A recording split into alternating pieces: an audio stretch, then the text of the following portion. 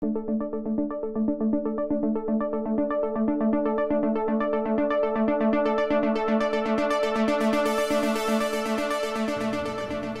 good morning, everyone. Uh, Thank you uh, for being here.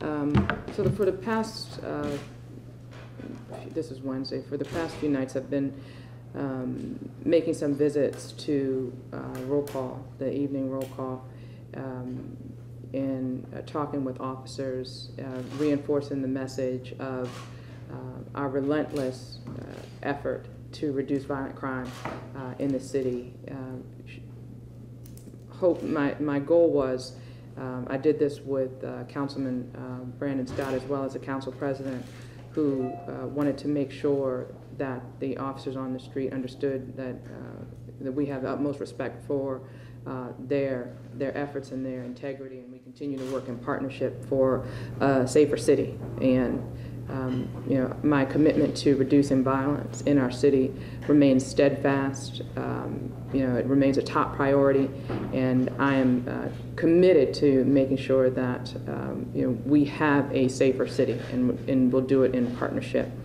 Um, that's about it. I was I just wanted to say that, and then we can open for questions. Um, Mayor, the Department of, uh, the Controller was critical of the Department of Public Works for not meeting with auditors. Do you know why they didn't meet with auditors and what went on with? Yeah, that was-? Yeah, that was the, the first that, that I had heard of that. I know that the, a similar, uh, a similar statement was made the, the week prior, and it turned out that all the questions that had been posed to uh, our agencies had, hadn't been addressed. So I was unaware of, uh, of this issue. We, we strive, I strive to find ways to work uh, together, uh, you know, across, um, you know, eh, across agencies and departments and uh, with other officials. And, um, you know, I, I, I'll definitely, we'll definitely look into that because that was the first time I'd heard about that. Mayor, why do the water bills in a three-year um, um, cluster? What, it's always been done, or at least for for the last several years, it's been year to year. Why, why do it three togethers?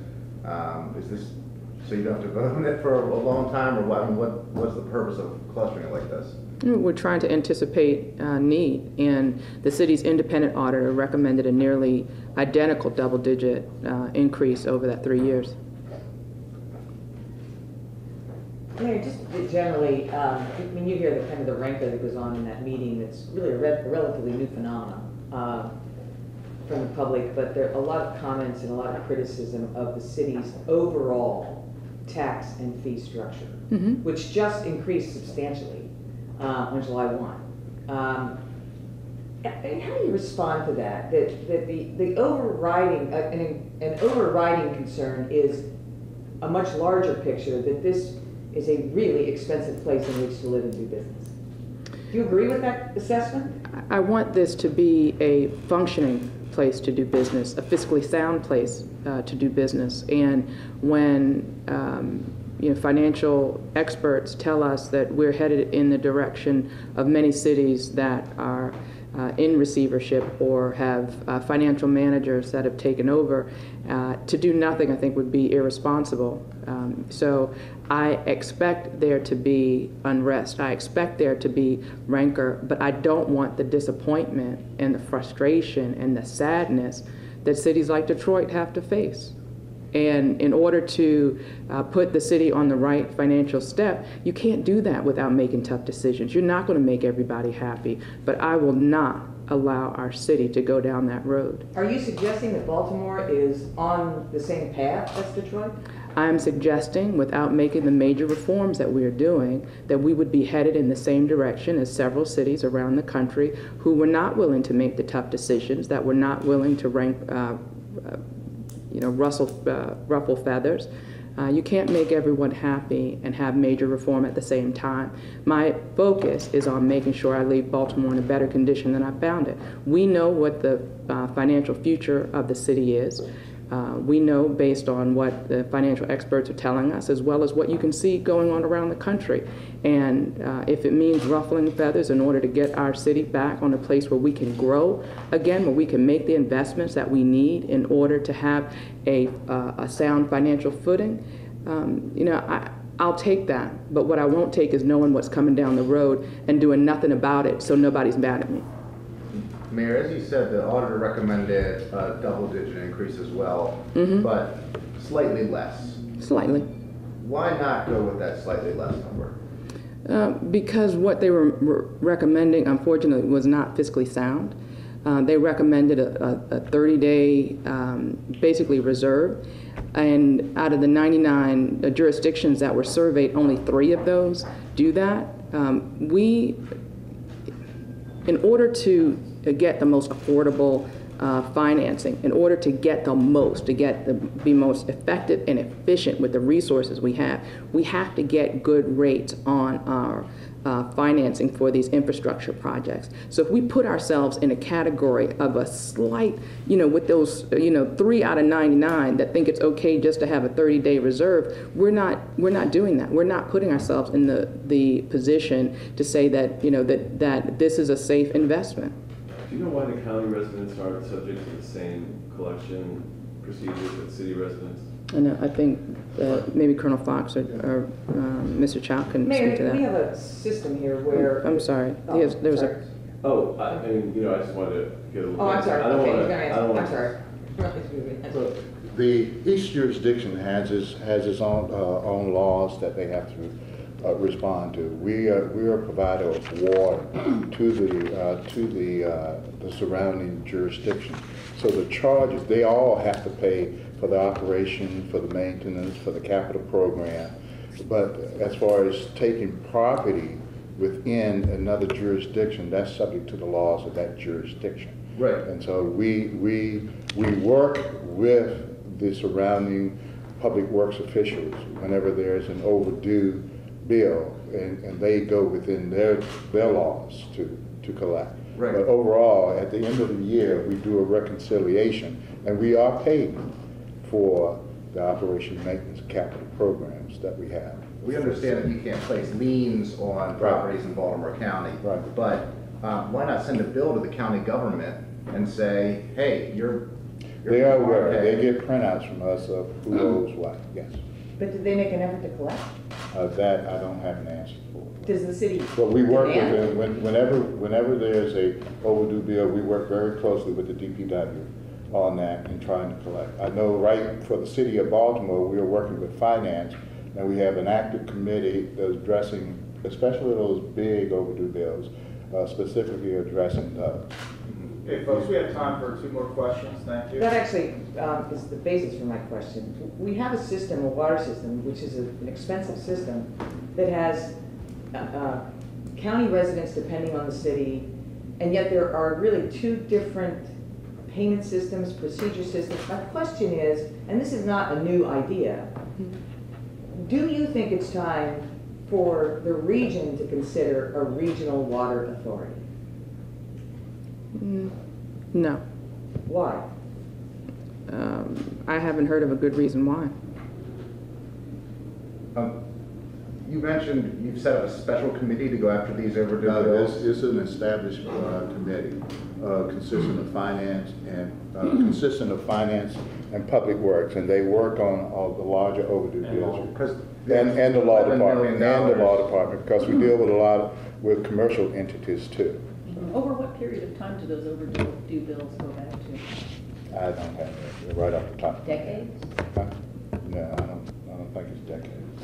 All right, folks, if you have follow-up questions about water, we have uh, Director Foxx is here and uh, Mr. Chow also. Um, They're happy to uh, sit down with you one-on-one and go on uh, the record on any background details that you might need. Thank you very much. Thank you.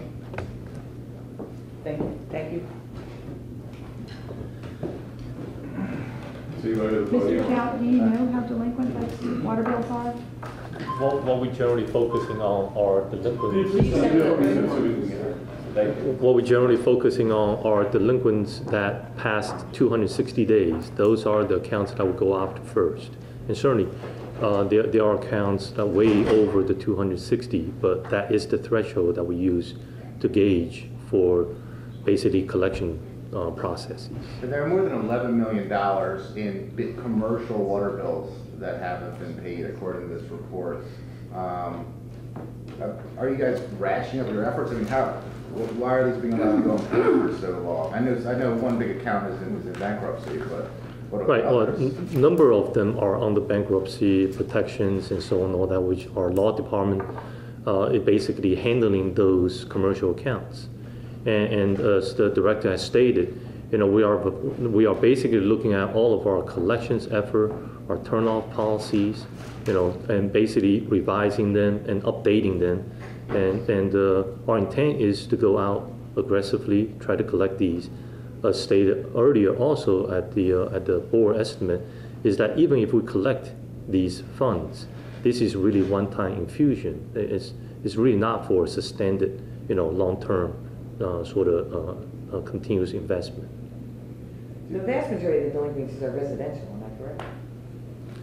Uh, Actually, in terms of dollar, in terms of the number of accounts, you're Yes. right. But in terms of Well, those resident, are these folks that are financially unable to pay their water bill? Are they vacant properties? What are, I mean, what kind of typically? th- there are, there are a number of accounts, for example, they, uh, they raise concerns about the accuracy of the meters, and, and which we are going through systematically addressing them, and we have been addressing them the last couple of years. All the meter are being read now, and that's really part of the reason why we are investing. Part of this rate increase is investing into our automated meter infrastructure, which, you know, then we get, you know, real-time reads on a continuous basis, and, uh, which will help the residents, for nothing else, for conservation purposes and other things. So are a lot of those basically contested bills, people who think that they've been overcharged? N- Not all of Not the, paying? not, not the No. large, you know, there are a portion of it is like that, and then there are a portion of it simply not able to pay. And then that we are certainly encouraging them to set up, for example, payment arrangement, payment plans with the Department of Finance. Yeah. And so we, we are working on multiple fronts, trying to, uh, trying to collect these outstanding debts. Let, let- let me just say one, one thing, and Mr. Chow kind of covered.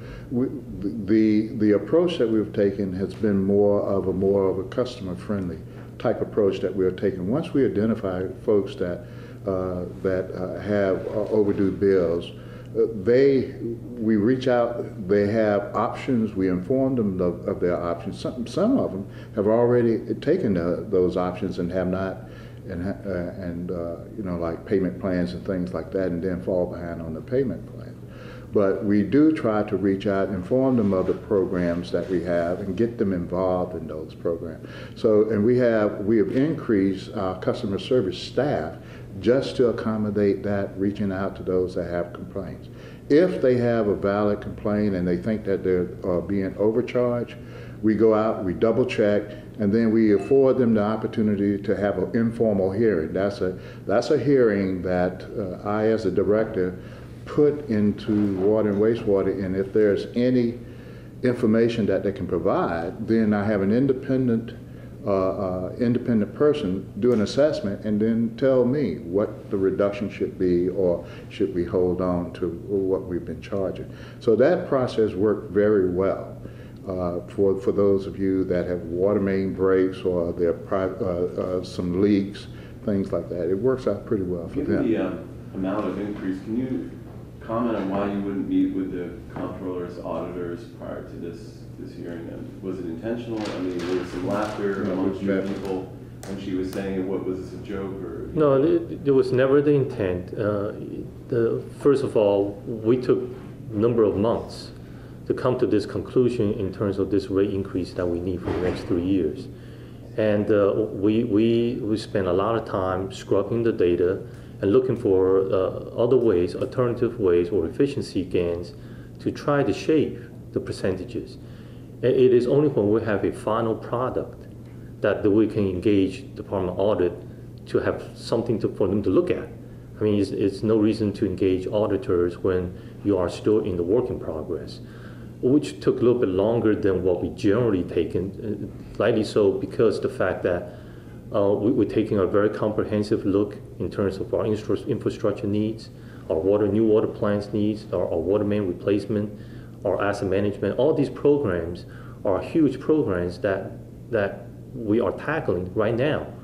So, um, so we are certainly on the same page as far as working in partnership with the controller's office. We are. But the fact that we had to have a working product in order to sit down with them, which took a little bit longer than. So, but they, they delayed the meeting for a week, um, because of that, and you Mhm. still refused to meet with her people? I mean, No. did you not meet with them? No, I No, we did Happened- not It was refuse. yesterday, right? It was a meeting and it was Did- supposed to happen, but, and they were left waiting. What, what- how did that 6 p.m. happen? well, I mean, th- that, uh, certainly I'm hearing from my staff and I'm certainly hearing from the controller staff. And and I think this is a miscommunication on, sort of on both parts. I think our folks are, are, um, are suggesting sometimes, you know, in, in yesterday to me and the controller's office to suggest that sometime the time just didn't match up. And then I think the, there was some miscommunication on, on both parties' the, part. the fact that, that there was, there was conversation going between both, we didn't refuse to meet with them. Uh, but there's con, there was conversation going between both the DPW and the auditors, uh, all day yesterday about when we could have a mutually agreed upon time to meet. So that's, uh, it, we never refused to meet with them. The only outside audit that has been done of your agency is by the controller's office auditors, am I correct? There's been no other independent review of your finances over the past No, X number we, of are- years? we are, we are audited every year and it's through. Department of Finance. Department of Finance. But there's been no independent audit. Well, the, the Department of Finance uh, has a, a third-party, external auditor, basically reviews our, our finances on an annual basis. That's how we can That's get not a. really an fin- efficiency audit, am I correct? No, it's not as efficient. Not the same It's a- kind it's of a fi- audit. It's a financial. It's audit. financial It's a audit. It's to financial- reconcile your, yeah, Correct. yeah, Right. It's a financial audit. Okay, guys, thank you very much for your time. Thank you. It.